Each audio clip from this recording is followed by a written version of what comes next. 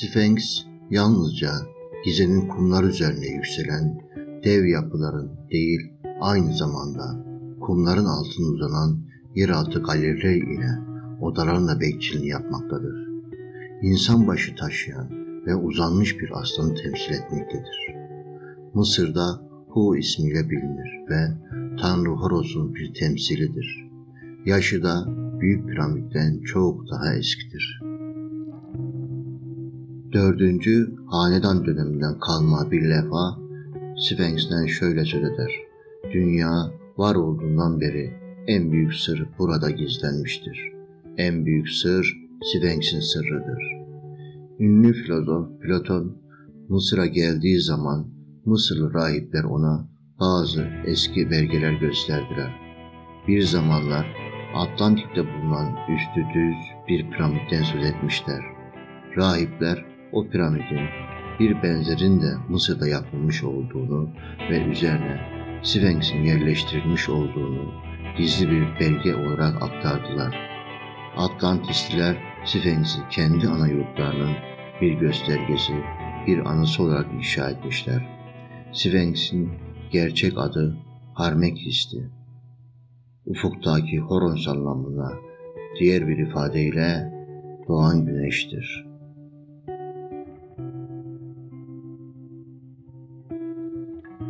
Harmakis, Sirius'un gizli isimleridir.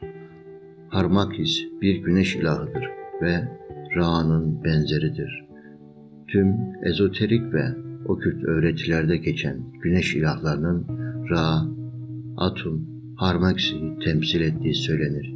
Yani bütün Mısır'ın tanrıların başı, Mısır'ın en büyük ilahi, sakin, fakat taşıdığı büyük sır bakımından ürkütücü olan doğanın bir simgesi durumundaki bu Sphinx'i, insanlığın en eski ruhbanları yontup biçimlendirmiştir.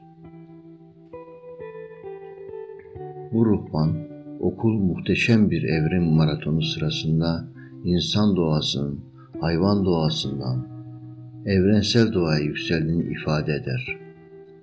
Boğadan, aslandan, kartaldan ve insandan meydana gelmiş olan bu varlık yüzünü doğuya çevirmiş olan bu Sphinx gerçekten dünyanın hakimi gibidir. Ezoterik Tradosyanda boğa, aslan, kartal, Sirius'un gizli adları olarak kabul edilir.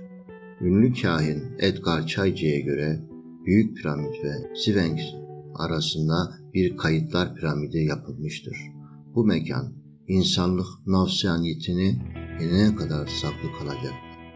Çaycı bir gün trans halindeyken Sphinx'in ön pencerenin altında içinde Atlantis yok olduktan sonra hayatta kalanlara ait kayıtlar içeren bir kütüphanenin olduğu gizli bir bölmenin bulunacağını söylemiştir.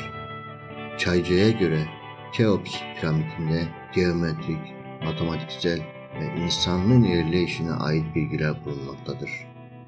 Büyük piramit ile Sphinx arasında bir kayıt piramidi vardır. Bu yer insanlık bencilliğini, egosun yeninceye, belli bir idrak düzeyine ulaşıncaya kadar gizli kalacaktır. Çaycı'ya göre Atlantistler milattan önce 10.500 yılında Mısır'a göç etmişler ve 40 bin yıllık uygarlıklarının kayıtlarını da yanlarına götürmüşlerdi. Mısır eski ve gelişmiş bir uygarlık olan Atlantis'in bir kolonisiydi. Yağmalamalar sonucunda kaybolan bu kayıtların Sphinx'in yakınlarında henüz keşfedilmemiş ve tamamen toprağın altında bir başka piramidin içinde yer alan, kendi verdiği isimle kayıtlar salonunda bulunacağını belirtmiştir. Miguel Appleby ve Adam Chilt adlı iki İngiliz kaybolmuş uygarlığın kanıtlarını barındıran gizli bir mahzen yerini tespit ettiklerini belirtiyorlar. İki uzman, büyük piramitlerin yakınına bir yerde olduğunu söyledikleri gizli mahzeni yapacakları yolculuğun hazırlığındalar. Araştırmacılar, yeraltı mahzenlerini tespit edebilen bir dedektörü Keops piramidinin kuzeyindeki bölgeye kullanabilmek için Mısır hükümetinden izin aldılar. İddiaya göre altın kaplı granitten yapılma kayıt salonu insanlık tarihiyle ilgili önemli bilgiler barındırıyor.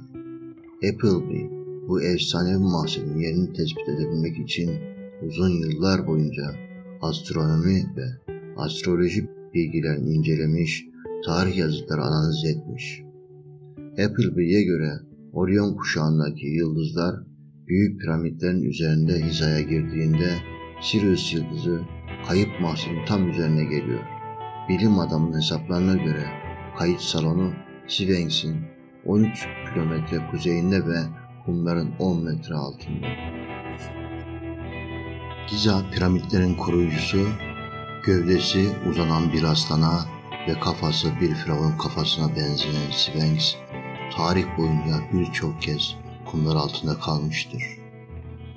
En az piramitler kadar sırrını muhafaza eden Sphinx, efsaneye göre yalnızca Giza'nın kumlar üzerinde yükselen dev piramitlerin değil, bunların yanı sıra kumların altına uzanan yeraltı şehir ve tüneller sistemlerinin de heykelini yapmış ve yapmaya da devam ediyor. Sphinx'in yaşı Mısır piramitlerinden daha eskidir.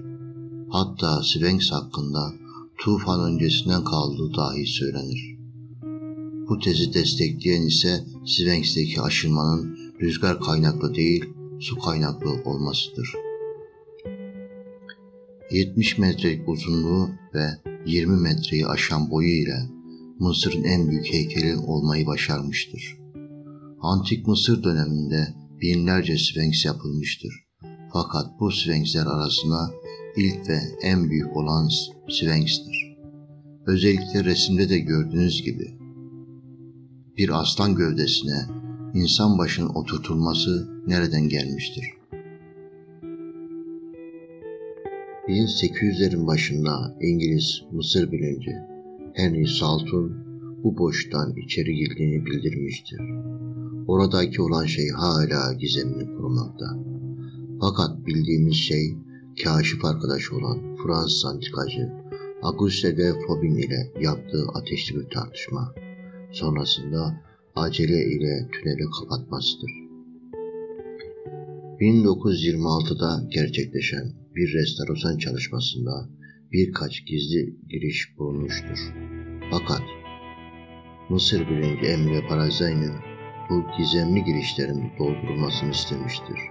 Bu da gelecekteki kaşiflerin ve araştırmacıların bu gizli yere girmesini engellemiş oluyor. Sphinx'i asıl inşa edenlerin, çok zeki varlıkların, hatta Atlantis'in felaketinden kurtulan bir ırka ait olduğunu ve gizli odanın milattan önce 10.500 yıllarına birikmiş bilgiler içerdiği iddia edilmektedir.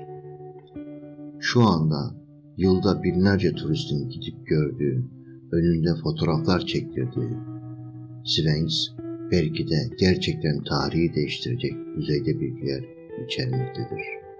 Ya da dünya dışı yaşamdan bilgiler.